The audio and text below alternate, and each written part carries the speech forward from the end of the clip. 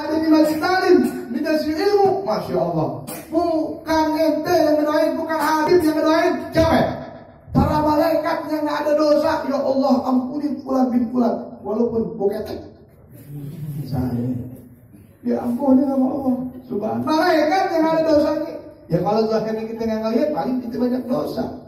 Ya kalau itu bisa ngeliat, mati loh. itu lain lagi. Itu para auli, aulia.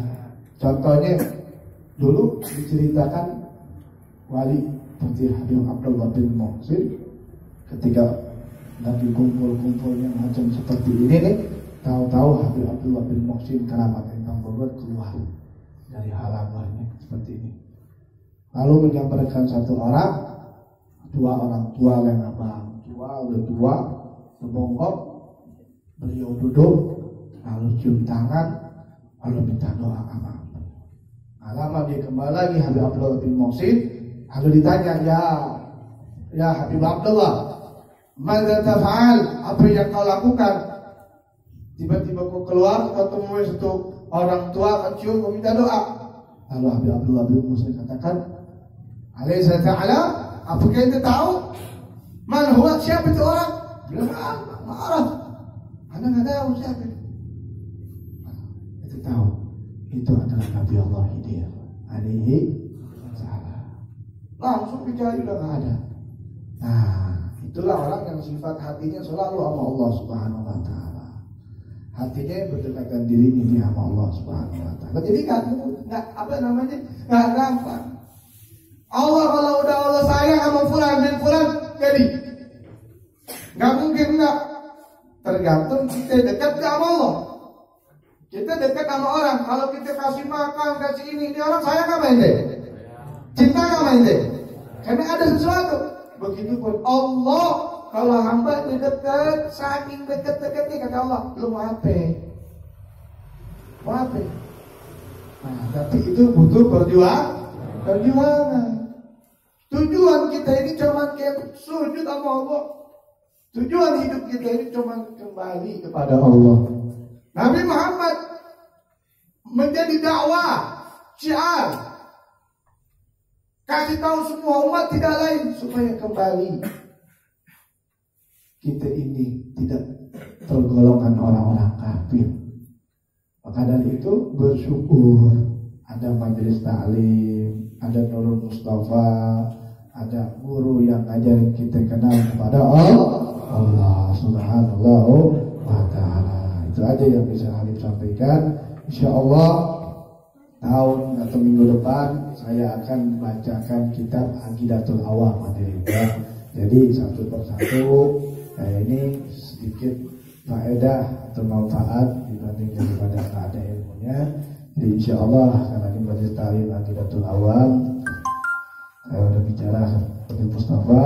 Insya Allah minggu depan untuk beli Aqidatul Awam nanti nanti persatu itu Aqidatul Awam itu adalah tauhid tentang masalah sifat-sifat malaikat, sifat-sifat para anbiya, sifat-sifatnya Allah Subhanahu wa taala nanti akan dibahas tentang tauhid kita kepada Allah Subhanahu wa taala ya. Jadi kita ini nggak harus ibadah, nggak.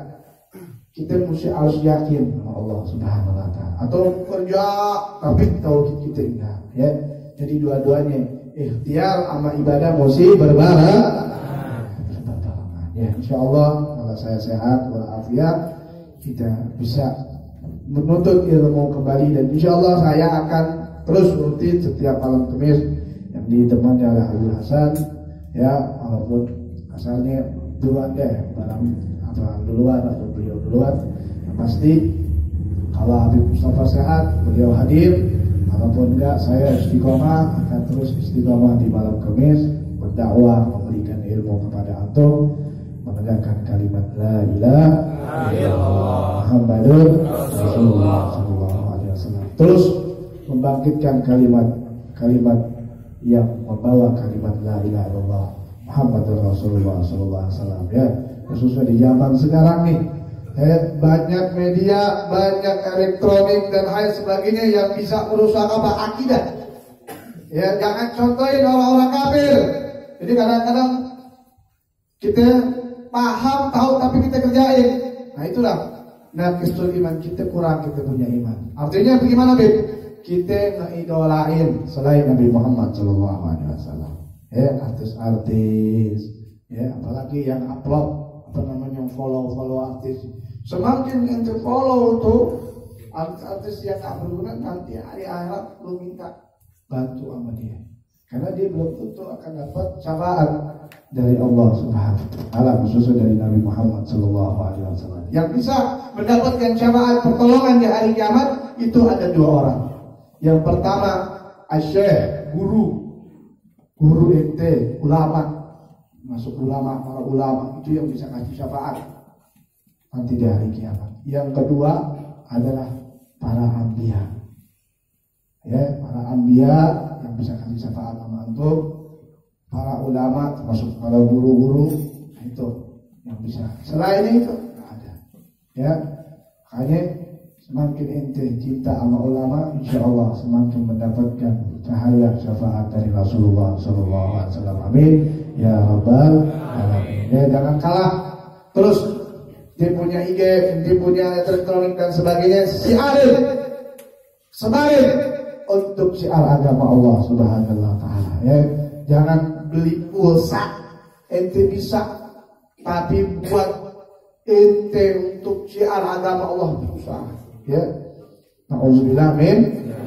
Ya, tapi insyaallah ya antum-antum ini yang istiqomah tidak lain adalah orang-orang yang dicintai oleh Allah Subhanahu wa taala. Wa likulli nabiyyin salih wa ila hadratin nabi. Al-Fatihah. Alhamdulillahirrahmanirrahim wajib. Bismillahirrahmanirrahim. Alhamdulillahi rabbil alamin. Ar-Rahmanir